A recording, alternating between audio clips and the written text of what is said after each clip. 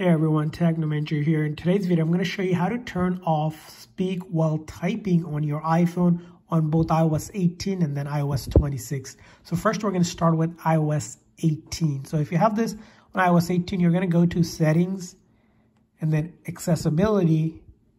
And then under the vision section, you just see known as spoken content. So you're going to tap on that. And then from here on, typing feedback. And what you're going to do is turn off all of these settings. So if you don't want the phone to basically speak while you're typing, just turn all of these off.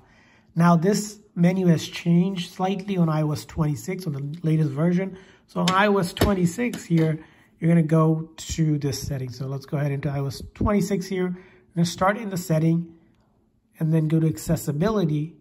And instead of under the vision section here, you're going to go down a little bit further under accessories and then keyboards and typing.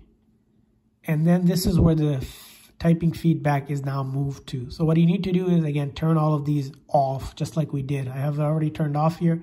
Simply turn these off, and uh, especially these two, and then this one, and then this one as well. And then you will no longer hear the phone speak while you're typing.